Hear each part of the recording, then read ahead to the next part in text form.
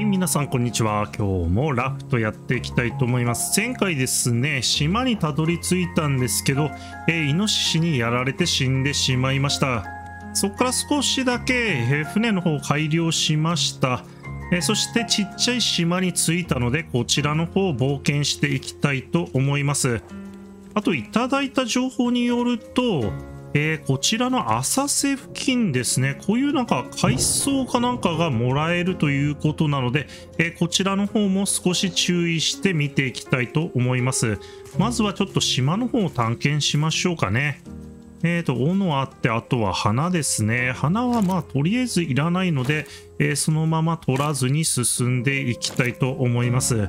まずは木とヤシの実ですね。あと食べ物、フルーツがあればそれを取ってっていくという感じで進んでいきましょう。よよいしょ。ここら辺でもないな。特にありませんね。今回食べ物ないのかな？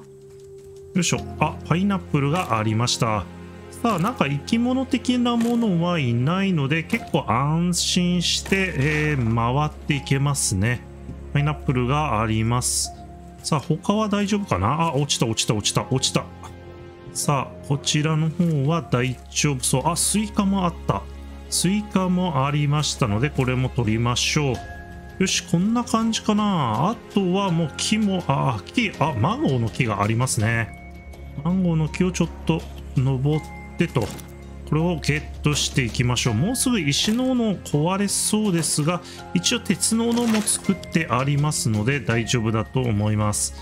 さあ、これで OK。ちょっと海の中潜っていきましょう。今までちょっと海に潜るという、えー、ことがなかったのに、あ、これか。これなんだろう。書き爪みたいなやつで取れるって言ってる。これかなこれではないのかななんかフック的なものが必要なんですかね。よいしょ。なんかちょっと作れるか見てみましょうか。えーと、クラフトで何か作れるかなえー、こちらの方は、アイテムはこれか。これかなフックがないとダメなのかなスクラップが6個にネジが1つ必要です。こんなにちょっと材料がないかもしれませんね。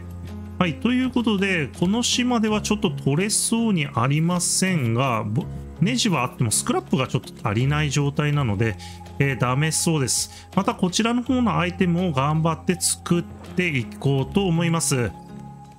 さあ、夜になった途中ですけど、えー、鍵爪でですね、長押しで取ることができましたね。あ、やばい、サメかな？なんかがいますね。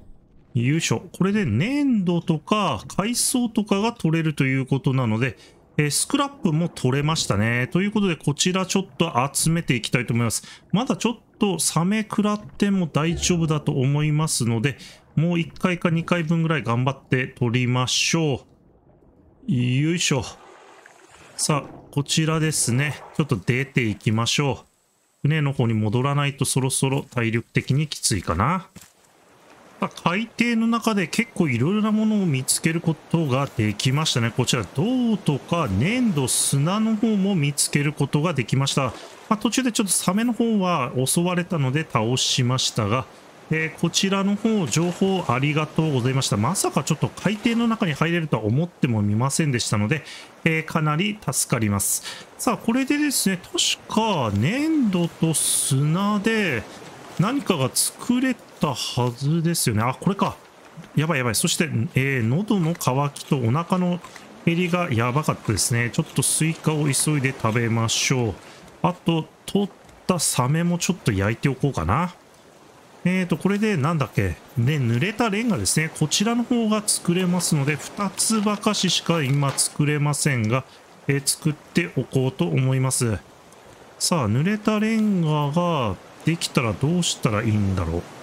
えー、このままいかだに置いて乾かすことができますということですね。ということは乾かせるのか。これを置いとけばいいのかな？とりあえず2つ置いておこうと思います。さあ、次の島が見えてくるまでまたですね、漂流していきましょう。あ、船の方の拡張もかなりしました。ちょっとネットの方こちら2マス貼っていませんが、一応縦と横どちらでも拾えるような状況を今後も作っていこうと思います。まあ、ここら一帯ずっとネットが張ってあるので、えー、正面を向いて進めばだいぶ、えー、品物の集めは、えー、楽になりました。さあそして教えていただいた浅瀬の方での粘土と砂からドライブロックの方ができました。そしてこちらの方を使うことによって、えー、溶鉱炉の方が作れるようになりましたので、えー、こちらを作ってみたいと思います。よいしょ。初の溶鉱炉ですね。ちょっと置いてみないと分かりませんが、とりあえずここに置いとくか。あ、これ、あ、ちょっと待ってよ。鳥が来てますね。かかしを一応ダミーで置きましたが、えー、かかし攻撃されています。さあ、これ板を、あ、結構いっぱい使いますね。